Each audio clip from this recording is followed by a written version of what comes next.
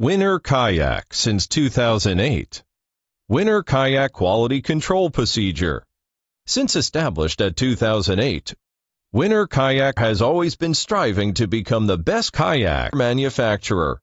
With the most strict quality control procedure, Winner Kayak kept testing and applying various new materials and new technologies, including XHPE, foam, luminous material, and new composite materials to perfect the kayak product line.